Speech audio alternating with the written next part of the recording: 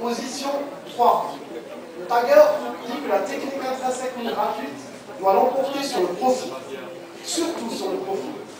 S'organiser et lutter pour cette position sur ce point est hautement crucial. L'invention technique, en ce qu'elle recèle de progrès, doit profiter à toute l'humanité et non pas demeurer l'apanage d'une caste de privilégiés, fut-elle une caste d'un milliard, contre les multitudes laborieuses. Tenir ce point et non plus bouger signifie qu'il est plus facile de donner que de recevoir, plus grandiose d'offrir que de quémander. Et partant, autant que faire se peut, et puisque le constat nous demande de voir et nous commande de constater qu'il en est, ce qu'il en est, dans mon pays, dans vos pays, dans nos pays, de se lever un matin, d'aller chercher des portables, des ordinateurs avec leurs périphériques et les envoyer par tas, par détail, à ceux qui en ont un urgent besoin, ici et ailleurs, dans ce pays, dans vos pays, dans mon pays.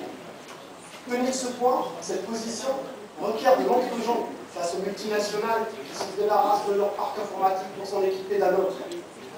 De s'oublier et d'oublier ses besoins accessoires et non vitaux. Se souvenir,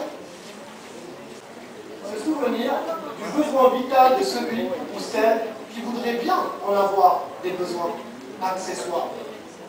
En cela, l'ordinateur devient vital pour celle ou celui qui a Oran, Tunis, Boaké ou Niamey lutte pied à pied pour fournir une classe d'école en matériel qu'on dit ici pédagogique, les produits de luxe là-bas. Pour celle ou celui qui, par une volonté propre mais insuffisante, mais insuffisante pardon, à l'exercice de ses droits de citoyen, ne peut créer son blog, son email, son homepage, mais tout simplement son journal de lutte, sans devoir s'agenouiller face à la force des puissants qui encadrent son existence jusqu'à la nausée. Tenir position sur ce point demeure crucial, comme un médicament que le tagger enverrait à sa grand-mère et qui paraît effet de neige, puisqu'on en